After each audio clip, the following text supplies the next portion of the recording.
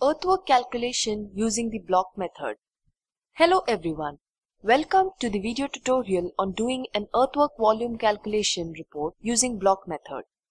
Earthwork calculation can be done with section method or using the block level method. The block level method is prepared by infrastructure industry as that method of calculation is much simpler than the section method. The block level calculation involves averaging the levels at four corners of a grid block and then finding the difference between the averages and multiplying with an area of the grid.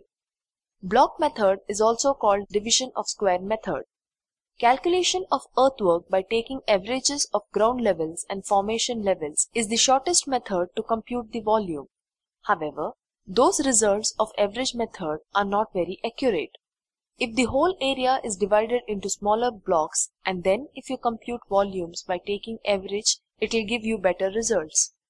Click on block button and select average item under ground and formation group and select area, block boundary, block number and block volume.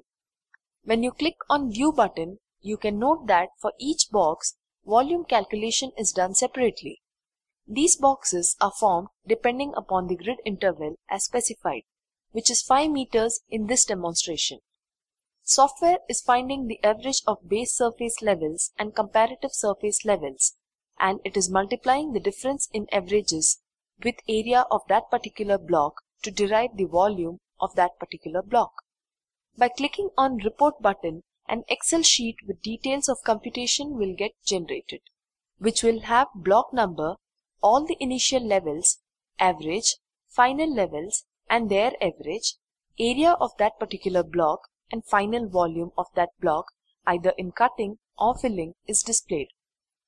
Please also note that there will be slight variation in the volume calculation done with this method and section method for two reasons.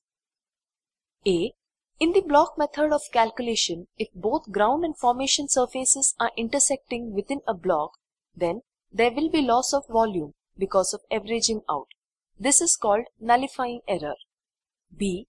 If the boundary is not exactly passing on the grid surface, in such cases, the small areas formed outside the grid which is not considered for area calculation. Thank you for watching this video. In the next video, you will learn exporting data from CAD drawing for earthwork calculation.